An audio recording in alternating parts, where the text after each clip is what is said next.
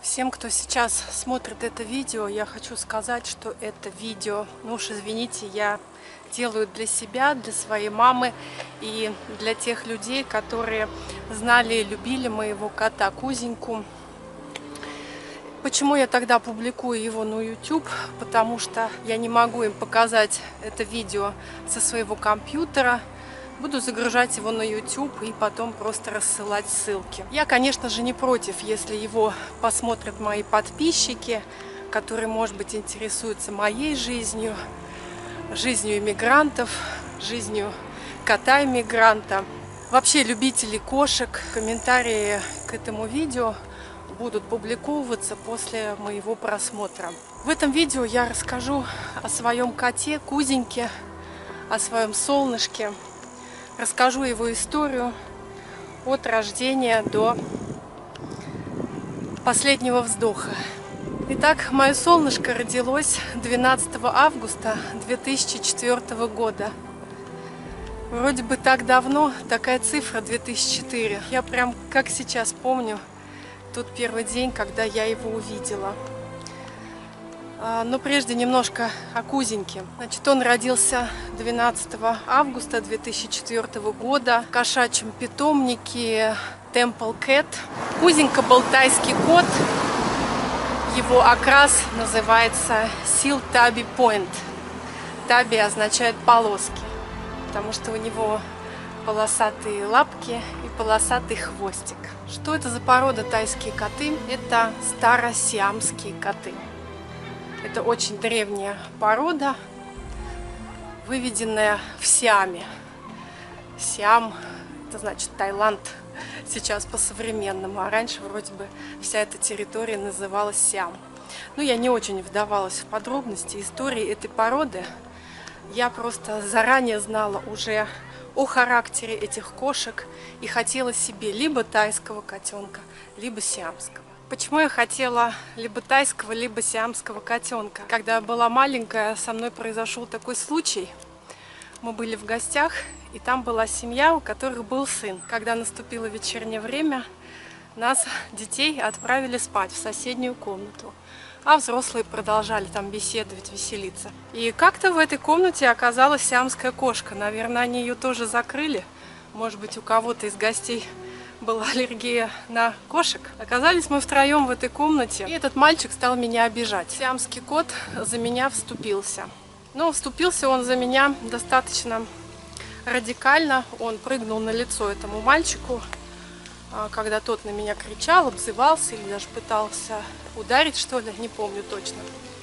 В общем, прыгнул он ему на лицо и расцарапал лицо. И, конечно же, после этого коту влетело, мягко говоря. Мягко говоря. После этого я была неравнодушна к сиамским котам. И я вот начала читать про сиамских котов. И также увидела, что есть старосиамские коты, тайские. Это более мягкая порода. И также их называют коленные коты. Что это значит? Это значит, что эти кошечки все время ходят за вами по пятам и садятся вам на коленочки. Вот садитесь вы телевизор смотреть, они прыг к вам на коленочки и сидят с вами. Пошли вы кушать, сели за стол кушать, они прыг к вам на коленочки и сидят с вами. Мне очень понравилось это описание тайского котенка. Я захотела себе купить тайского котенка. В 2004 году я уволилась с работы, сошлась со своим парнем, и мы начали жить вместе. Он снимал квартиру для нас в Москве. Я сидела дома, не работала. Вроде бы, да, гуляй не хочу, а мне все-таки хотелось какого-то вот домашнего уюта домашнего тепла, не хватает чего-то. И вот пришла ко мне такая идея завести котенка. Саша был не против, завели мы котенка. Сейчас расскажу, как мы его завели. А стала покупать или брать бесплатные газеты, где есть объявления о животных. И вот в одной газете я увидела, написано, продается котик тайский 4 месяца. Или даже уже было ему 4,5 месяца с родословной. Впоследствии я узнала, что его дедушки, бабушки, папы, мамы, прадедушки, прабабушки все были чемпионами. Всех были медали, все они побеждали в конкурсах. Решила я съездить и посмотреть на этого котенка. Конечно же, самое главное это визуальный контакт. Да, когда вы смотрите на котенка, вы понимаете, ваш это котенок или нет. Была зима, декабрь. Приехала я в эту квартиру, где они разводили сиамских котов. И вышли ко мне хозяева, открылась дверь в одну из комнат, и из нее вышел э, сначала сиамский кот, а потом вот так вот выглянула, так знаете, из-за угла осторожно. Сиамская кошечка. И хозяева мне сказали, что это мама и папа котенкам которого вы пришли посмотреть. И хозяева мне сказали, по-моему, они вас одобрили, то есть вы им понравились. И потом выбежал Кузенька. Это самый-самый такой яркий, самый такой счастливый момент, когда он выбежал ко мне. Маленький, маленький, 4 месяца. Уши такие большие, уши, как у зайца, голова маленькая, худенький. А тайские котята, когда маленькие, они еще и беленькие. И вот он такой беленький, полосатый хвостик, бежит ко мне. Я была одета в шубу, и шуба у меня завязывалась на ремень. И я шубу расстегнула, ремень развязала, и он по этому ремню залез ко мне вот сюда. А здесь у меня был воротник меховой. И начал драть мне этот воротник. Посмотрел в мои глаза. И так мы с ним познакомились. Голубые, маленькие глазоньки солнышко мое, веселый, озорной, улыбался. И хозяйка мне сказала, что Кузенька так еще никого не встречал, что я ему вроде как понравилась, что он даже на меня запрыгнул, да. Мне было очень приятно это слышать. И он мне очень понравился. Но они его не звали, и я не знала, как его зовут. И я им сказала, вы знаете, я бы хотела его назвать Стич потому что, ну, он похож на Стича, он такой, знаете, озорной был. Озорной такой хулиган, но с добрым сердцем. С добрым, с самым добрым сердцем на свете. Они сказали, «А мы его должны были зарегистрировать на букву К. Там как-то котят регистрируют по алфавиту у них в этом питомнике. И вот мы его назвали Кузей. И он уже откликается на Кузю, поэтому, наверное, будет неправильным, да, если вы его будете называть Стич, может быть, он не будет откликаться. Ну, знаете, я подумала, ну, Кузя-то Кузя. Хорошее имя, домовенок Кузя. Я была не готова к его покупке. Ну, у меня с собой были, конечно, деньги. Но я как-то совсем не подготовилась. Думала, приеду, просто посмотрю на котенка. А вот так мы друг другу понравились. И муж хозяйки, да, хозяин, говорит, ну, вроде бы все хорошо, он вам понравился, вы ему понравились. Что, тогда, может быть, и возьмете сегодня? Есть у вас деньги? А стоил он 100 евро. Или как, 100 долларов. Тогда еще евро-то, по-моему, не было, господи. 100 долларов. Я говорю, ну да, есть 100 долларов. Он говорит, или вы хотите с родословной. Вы его как будете покупать? Как домашнего питомца или на выставке ходить?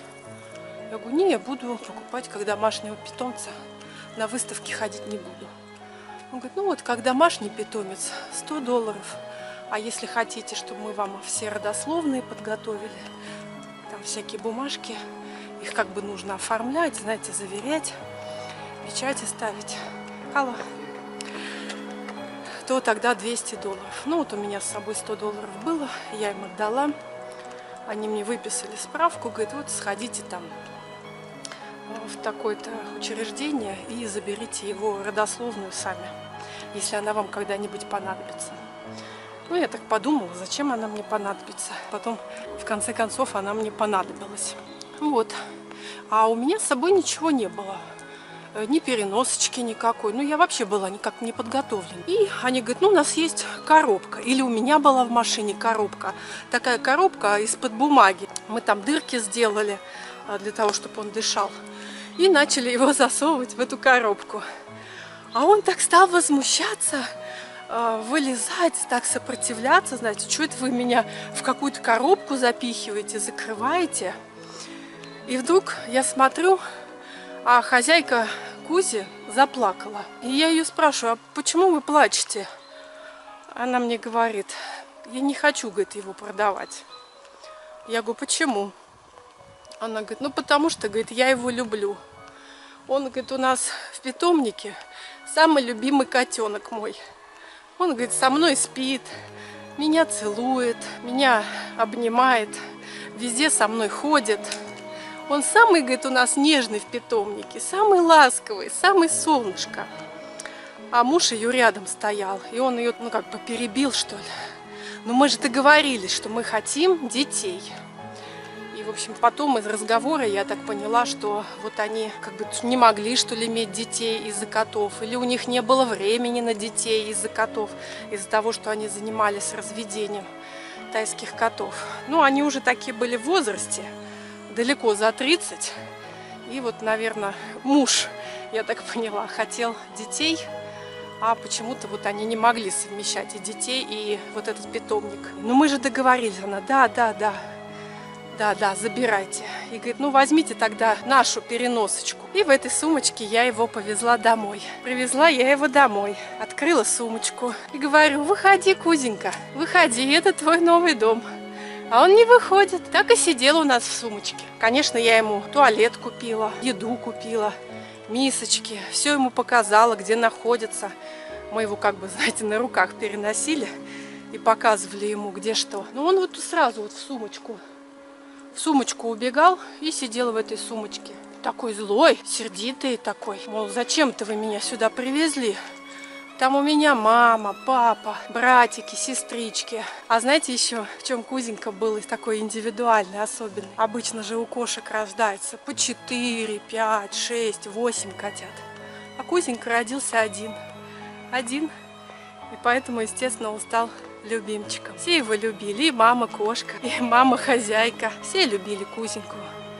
Он был настоящим солнышком, и родился он в любви, жил в любви. И когда я его к нам перевезла, тоже он у нас на Бауманской жил в любви. Обнимался, целовался. Конечно, это все пришло не сразу. Долго он у нас сидел в этой сумочке, а потом мы купили ему мячики. Думаем, ну будем мячики кидать, и он выбежит из сумочки, да, начнет играть. И точно так и получилось. Начали мы ему кидать шарики, и он так как-то оживился и начал за этими шариками бегать.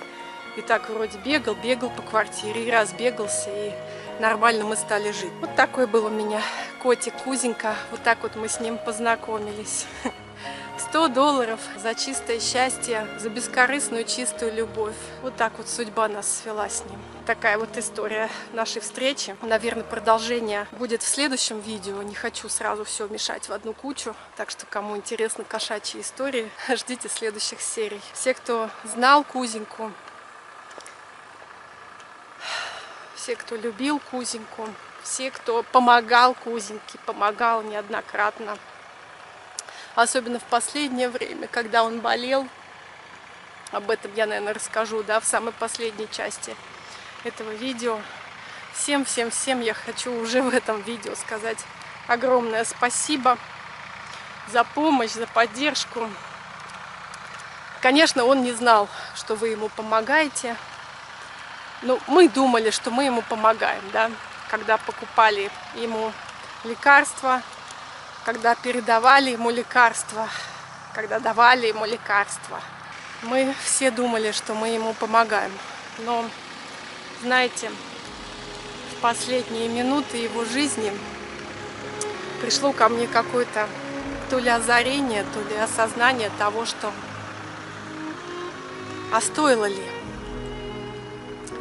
стоило ли?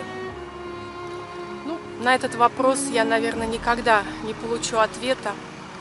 Стоило ли его пичкать лекарствами, которые в итоге его не спасли? Увидимся в следующем видео.